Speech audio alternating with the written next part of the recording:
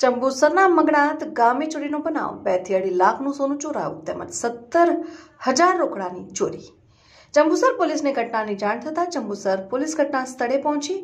શિયાળાની શરૂઆત થતાં જ ટોળકી સક્રિય થઈ જતા લોકોમાં ફફડાટ. મારું નામ યુનુસભાઈ હસનભાઈ મુલતાની છે. મંગળાત ગામનો વતની છે. હું મારા કામ માટે બહાર ગયો હતો.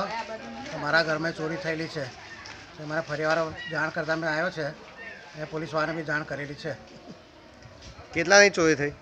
લગભગ બેથી અઢી લાખ રૂપિયાનું સોનું ગયેલું છે. બીજું કઈ? રોકડ સત્તર હજાર રૂપિયા ગયેલા છે.